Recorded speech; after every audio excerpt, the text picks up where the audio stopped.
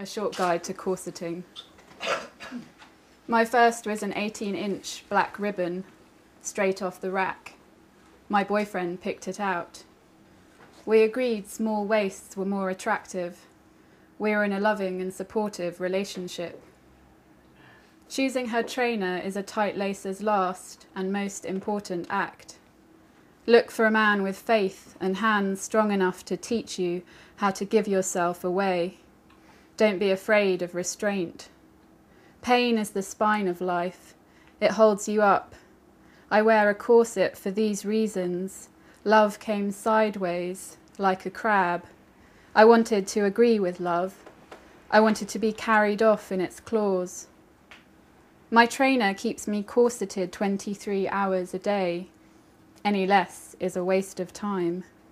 I love his arms, thick as pythons. Every morning he tightens the laces till they burn lines in his palms, till he swears under his breath and apologizes. I cling to the doorframe. I know our goal is the same. I've seen how he fights to contain himself. I know this hurts us both. That's a good thing. My second was a 16 inch with a 2 inch stem. I had it made to measure.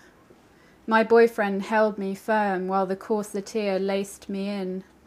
I drew my last deep breaths and I gave myself up then, standing between them. It was such a relief. Yes, the corseteer said, perfect fit. My breasts frothed like champagne from a bottle. My eyes bulged. Little skittle, my trainer whispered. I couldn't bend. A wrinkle ran down my back like a seam. Now that I wear a 14 inch, I use only the top half of my lungs. There's just room to breathe. I've still got more than enough. I've realised how little we need. Thanks.